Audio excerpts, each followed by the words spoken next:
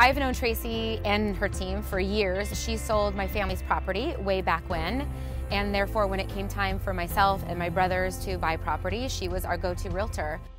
If you want to see a property, you've got four people available to be able to show you, so you're not trying to work around one person's schedule. I really think that whole team environment is really what serves us best and what I was looking for, but can really serve anybody best. The other thing that you're looking for when you're buying or selling is having the right people to help you get what you need, like with your title and your lenders.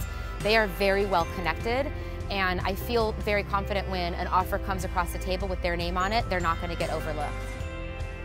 Team Tracy is the best ones out there right now simply because that they have their thumb on the pulse. They really all, between the four of them, they understand this entire valley. And again, with their resources and their connections, they can really find out information very quickly to get you what you need. I met Tracy uh, after my wife uh, had uh. She came to our house. She really paid attention to our details. Tracy was very patient. We had a personal tragedy. I lost my, we lost my son, you know, our son, and that's the reason why we were selling our house and we're looking for a new home. And I was very open with Tracy, telling her, I don't know if I'm gonna be able to do this. And she says, no problem, uh, take your time. And what I like about Tracy is she she was very patient and understanding.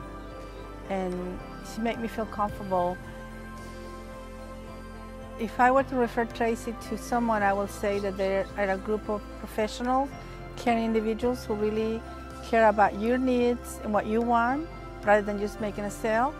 Um, they're professional, they, they know what they're doing, they're experienced, and you will be in good hands. We use Tracy all the time. The paperwork end, the part that we don't want to deal with. We just like the emotional part, buying the nice house.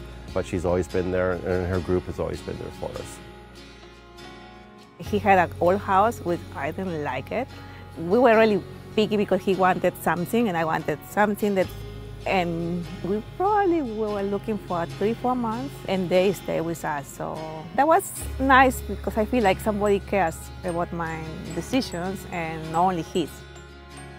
They're nice people you know, and, and they're there for you. Because, I mean, sometimes I can be a pain in the ass with my questions and no, I'm not doing this and no, I'm not doing that.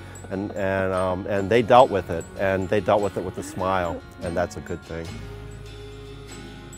There's no words to say, you know, she's the best for me.